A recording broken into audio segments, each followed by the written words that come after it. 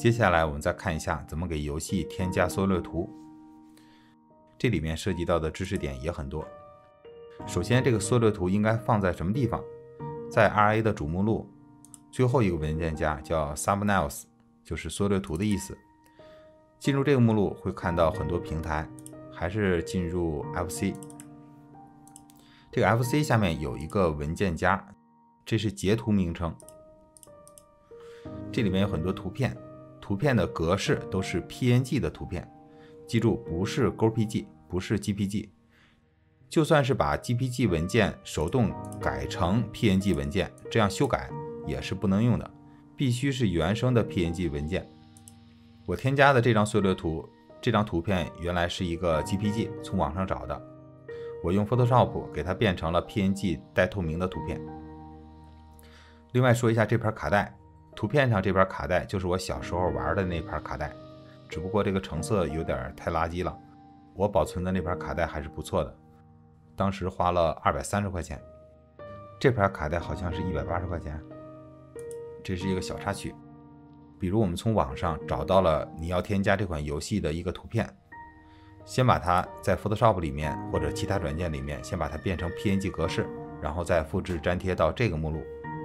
复制粘贴到这个目录之后，注意这个文件的文件名。就是点 PNG 前面的那个名称，要和游戏列表里边那个游戏名称保持一致。图片的文件名要和这个位置的文件名保持一致，它俩才能关联。这个文件名是在游戏列表里修改。然后还有一个知识点，我从论坛里下载了 PS 游戏，它里面包括游戏的 ROM，这个很大，还包括游戏列表和缩略图。但是，能进入游戏却没有缩略图，在游戏列表里不显示缩略图，原因在这里，还是进入设置，倒数第三个游戏列表，最后一个管理游戏列表，这里面有很多平台，找到 PS 平台，平台这里面有一个叫缩略图，现在能看到 PS 平台的游戏缩略图。这是因为在这儿设置的是标题画面，而不是抓图。我们再换一个 FC，这个 FC 平台的缩略图默认显示的是抓图。那这个抓图和标题画面有什么区别呢？看这里，进入缩略图，PS 目录的缩略图。它里面这个文件夹的名称，前面是名称，后面是 title，是标题的名称。然后再看一下 FC，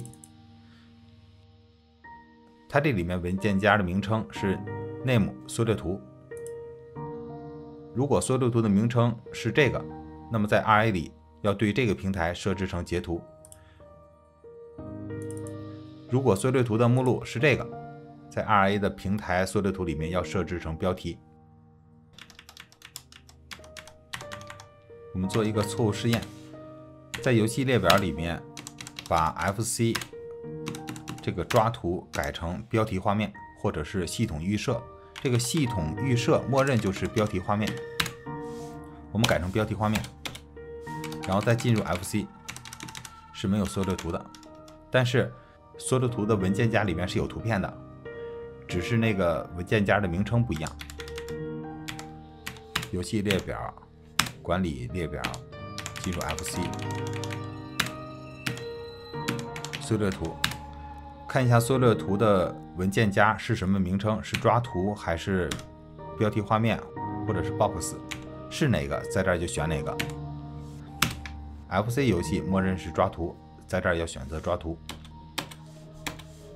这个视频教程就分享到这儿，希望对你有帮助。我是 a c h a 我们下次见。